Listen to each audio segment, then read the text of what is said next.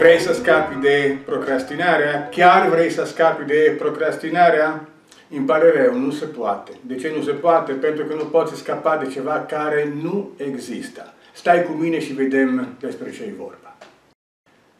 Salut și bine te-am găsit, sunt Bruno Medicina, trainer, coach, autor sau cum deseori mi se spune, omul care aduce performanța. Și data fiind că procrastinarea e percepută ca fiind cel mai mare dușman al performanței, hai să vedem despre ce e vorba și ce putem face cu ea. Dacă este ceva despre care mi se întreabă mereu și despre care, evident, există mii de cărți, mii de cursuri, mii de mii de articole pe, zi, pe reviste de psihologie, este cum să scapi de procrastinare, de obișnuința asta, de acest uh, viciu al minții pe care ne pune mereu să, să amenam lucrurile la nes, uneori la nesfârșit.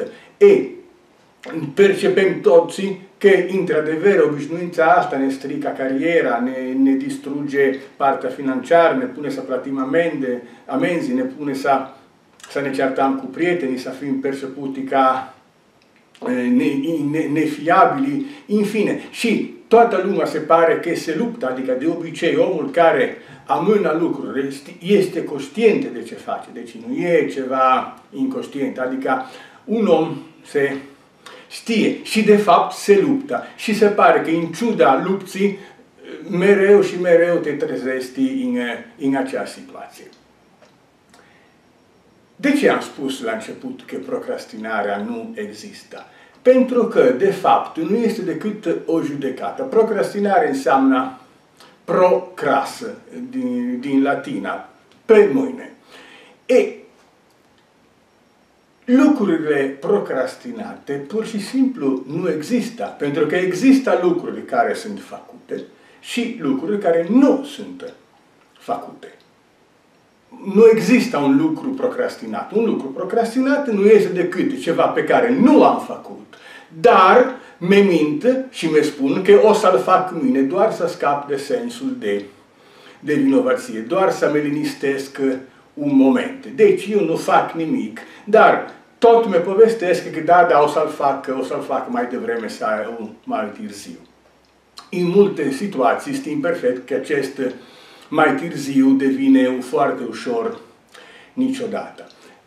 E, în momentul în care eu accept ideea că nu, problema nu este procrastinare, dar cum, ci cum am fost, am, cum am vorbit de fapt în, în alte în întâlniri de ale noastre, pentru că atunci când e vorba de procrastinare, e vorba de, din nou de voință, e vorba de motivație, e vorba de a se întreba de ce nu facem un lucru când trebuie făcut și pur și simplu ne inventăm toate feluri de scuze. Nu există un răspuns decât disciplina.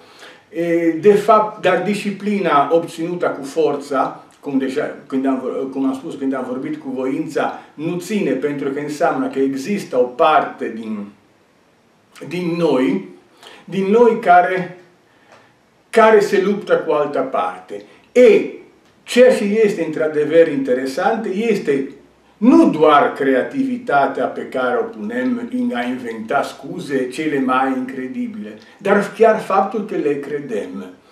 Eu mi amintesc că am și scris un articol pe tema asta acum câteva ani. Trebuia să dau un articol la o revistă, pe vremuri încă era tipografia. Și eu mi amintesc că tot băiatul de la redacție mă suna și eu tot spuneam lucruri în gen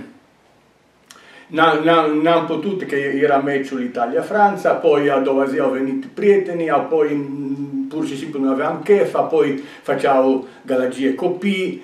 E, la un moment dat, când m-am dat seama cât de penibile erau scuzele acestea, a fost un moment de cotitură, pentru că eu m-am gândit, dar un moment, dacă eu aș avea un angajat care, de la care mi aștept să facă un lucru și ar veni la mine cu o scuză gen nu am făcut treaba pentru că era meciul sau pentru că nu aveam chef.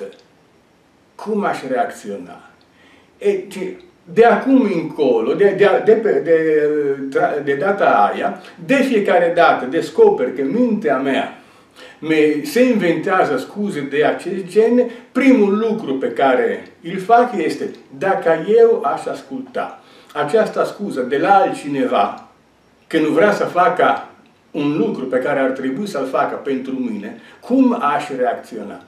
E, nu știu, vă dau ca, ca pont, pentru că l-am găsit extrem de, de folositor și capacitatea mea de a respecta anumite angajamente și de a nu mai la mine a devenit, a devenit mult mai bună.